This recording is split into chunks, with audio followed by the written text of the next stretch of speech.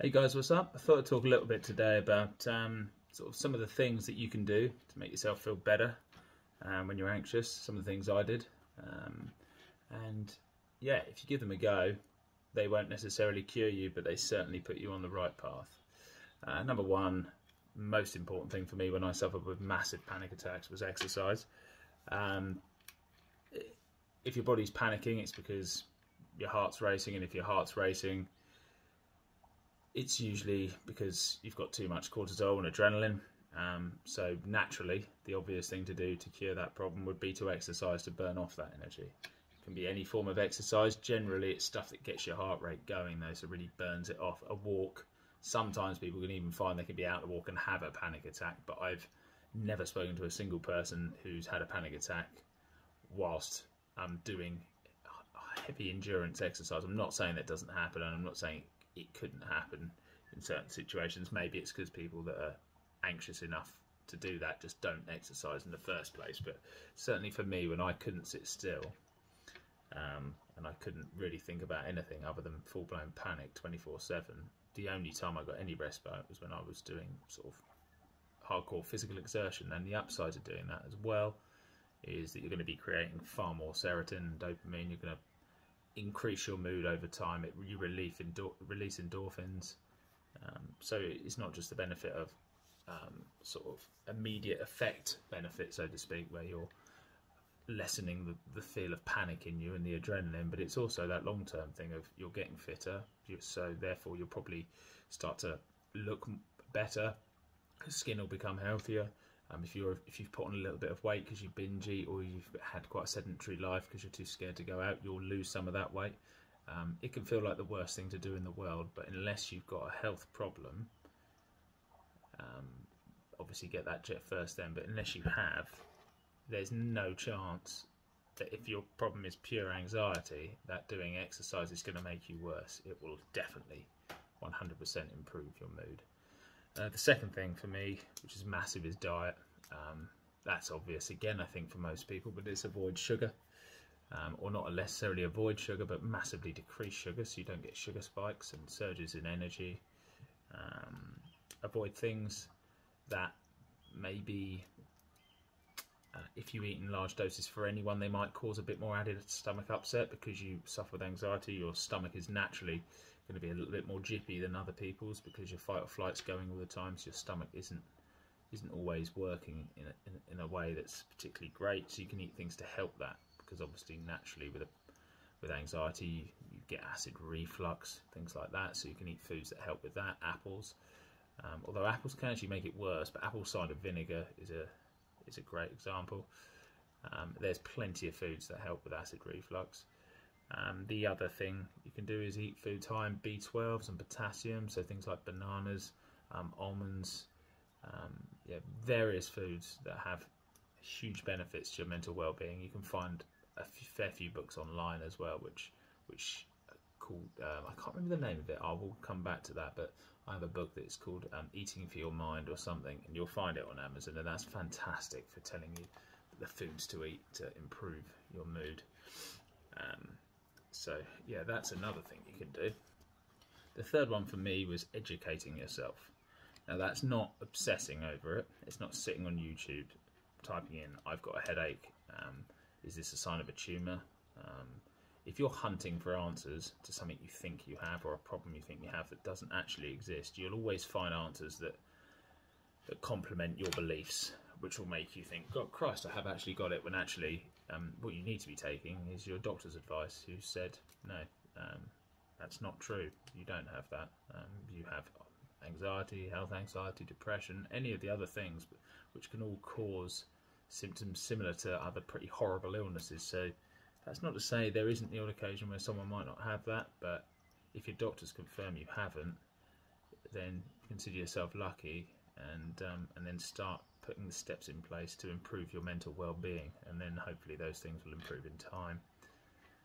The fourth thing I would always recommend would be speak to someone. It is true a problem shared is a problem halved.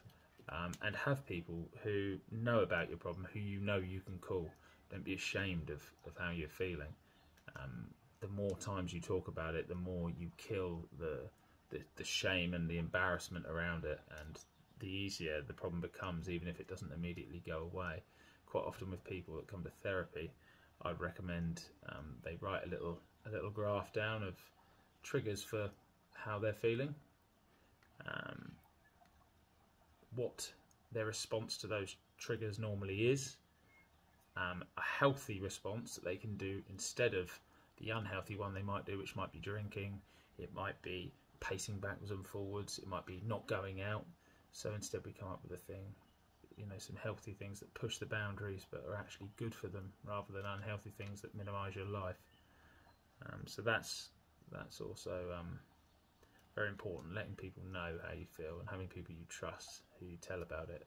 Um, don't live with feeling awful and keeping it from people because you're embarrassed because I've done that for a long time and you feel really alone and I'm not saying you don't still feel alone when you tell people but you're making little steps towards removing the shame around it and the majority of disorders stem from self-esteem um, and that comes back to exercise. If you're fitter and you look weller, your self-esteem will naturally be higher. You'll probably think better of yourself. Your mood will be elevated. Therefore, you won't think as negatively about yourself because of that aspect of it. Your diet will be better, so you'll be improving chemicals and vitamins that help improve your mood. Also, it's it's not a one-pronged attack. It's a, a multiple-pronged attack. Um, now, I'd say the last thing, really, and it's not even one thing. It's a mixture of things, but they are self-care. So, it's just laying on the bed and allowing yourself to slow down, even if it feels really uncomfortable, sitting with the discomfort, deep breathing, even for an hour if it takes an hour to calm you down, but not moving, not letting it win. Sit there, feel the discomfort, know that it can't hurt you, and maybe ask your partner to, I don't know, stroke your hair if that relaxes you. It makes me angry, but it relaxes some people.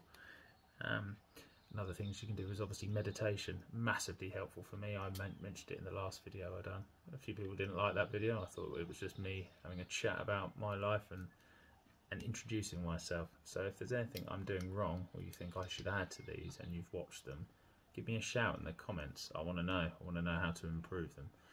Because um, at the minute I'm just going from past experience. I know the one thing I need to improve on is my ability to drag out a conversation and go off in tangents.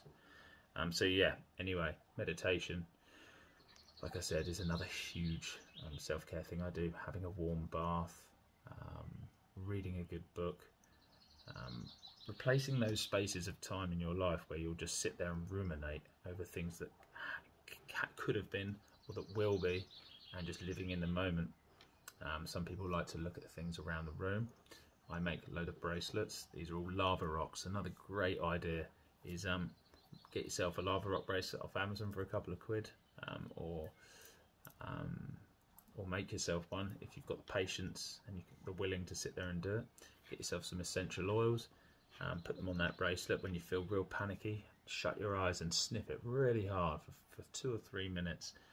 Um, just get start triggering your sense of smell, right? So your brain is thinking about what you're smelling as well as what you're feeling. So it's taking a bit of attention away from the discomfort in your body and focusing more on something else for a while. That is a great thing to do, which is why diffusers are good.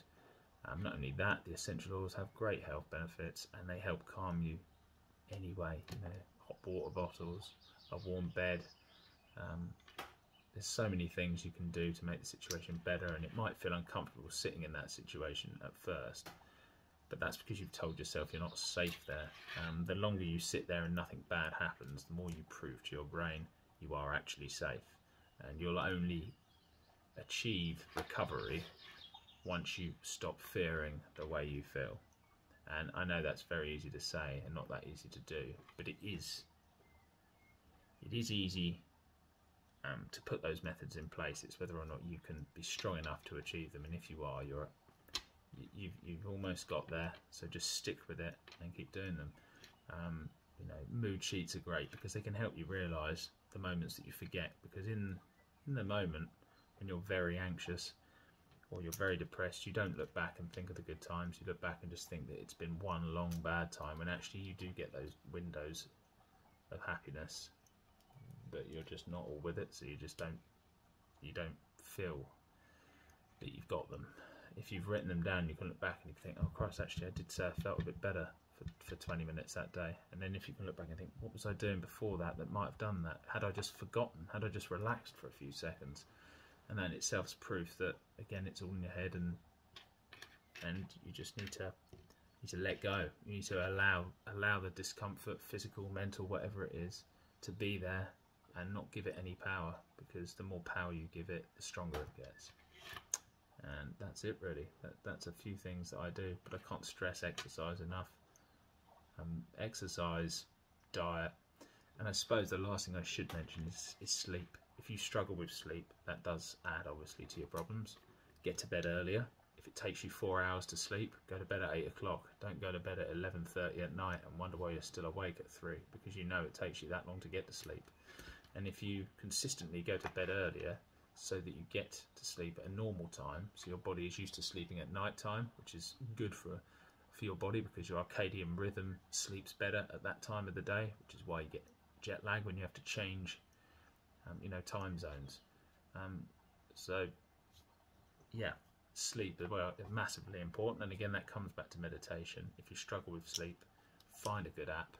I'll suggest a few on here. There's one actually on Spotify and on YouTube. Um, it's called Sleep Hypnosis by Positive Life Therapy. If you type Positive Life Therapy into Spotify or you type it into Google, they will come up. They're absolutely fantastic. It's the first one I ever started listening to, and the first couple of times I was skeptical. It's the first meditation I ever gave a chance. But if you struggle with sleep, sit through that. I've recommended it to many people, and I've not had anyone say that it hasn't helped some people it's certainly not cured, but it's helped everyone, and I generally believe that that's an honest bit of feedback from them. So yeah, sleep, another really important one. If you're not getting sleep, everything's just going to feel worse. Anyway, that's everything, and um, I am going to do another video again soon. I didn't get a lot of likes or comments on the last one, and I think a lot of them probably just random people clicking on it because I pay to advertise on Google. So it'd be nice if we do get some genuine people watching these videos. Share it with your friends if they have anxiety or depression. Get them to come and have a have a look at the video. Get them to ask me some questions. I'm fairly confident I can answer most of them, and I can fairly confident I can make them feel better about the situation they found themselves in. So come on, give me a go. Speak to you soon. Bye.